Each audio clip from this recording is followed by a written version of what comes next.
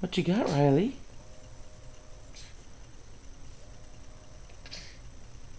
Riley's got her vibrating teething ring.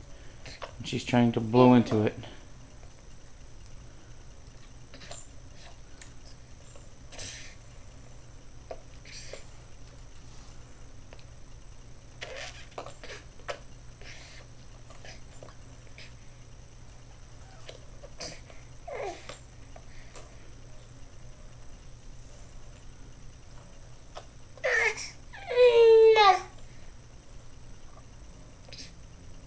This don't taste like no Eskimo pie.